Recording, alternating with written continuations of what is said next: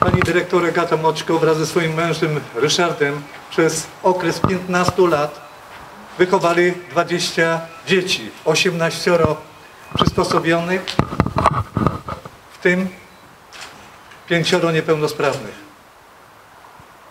15 lat. To długo. Drodzy Państwo, brakuje nam następców, brakuje nam rodzin, które byłyby, podjęłyby się wychowania również naszych dzieci potrzebujących. Pani dyrektor, na Pani ręce za serce włożone w wychowanie tylu dzieci. Nawet wiem, że Pani uratowała. Uratowała ich również Pani przed tym, co ich czekało, bo los takie zgotował im życie.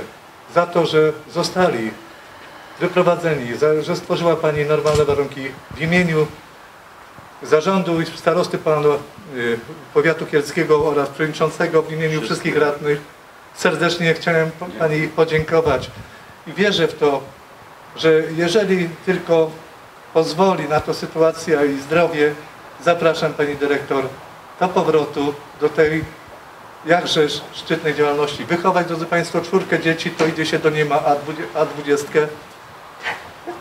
A20. Czyli Dziękuję ślicznie. Dziękuję Dziękuję bardzo. serdecznie. Dziękuję ślicznie. Za każde dobre słowo, za, każdą, za każdy dobry czyn i pomoc. Bardzo dziękuję. Był to czas, bym powiedziała, trudny. Trudny, ciężki, ale też pełen radości, no i takiej satysfakcji też bardzo dużej, że człowiek no, pomaga dzieciom, które zostały pokrzywdzone przez los, nie miały swoich domów. Także no, cieszę się, że mogliśmy tym wszystkim dzieciom stworzyć prawdziwy, rodzinny dom. E, Wszystkie dzieci, właściwie jakie były u mnie, były dziećmi trudnymi, bo miały zarówno e, zaburzenia psychiczne, e, upośledzenia umysłowe i bardzo były zaniedbane tak samo pod względem takim zdrowotnym.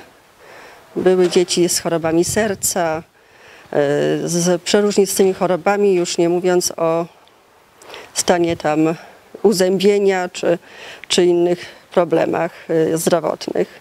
Także cieszę się, że udało się te dzieci wszystkie wyleczyć, y, wykształcić na miarę ich możliwości oczywiście. I no, w tej chwili no, mogę powiedzieć, że no, wychowan, wychan- wychowankowie, którzy odeszli wcześniej już, y, usamodzielnili się, Cały czas utrzymujemy kontakt, dzwonią, składają życzenia, zapraszają na kawę.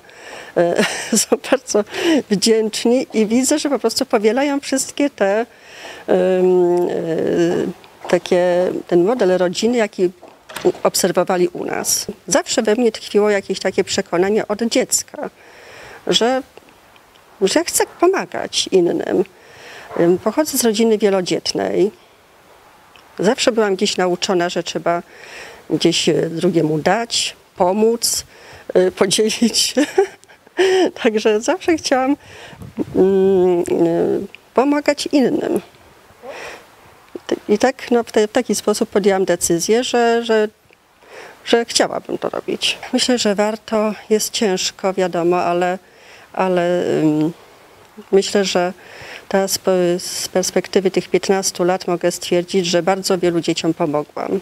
Bardzo wielu z nim, z nich. No wiadomo, że człowiek miał jakieś większe tam ambicje, chciał, żeby poszły na studia, żeby mm, się wykształciły, wszystkie miały magistra, ale to też nie o to chodzi. To, to były tylko moje takie plany, ale cieszę się, że te dzieci po prostu no, wyszły na ludzi.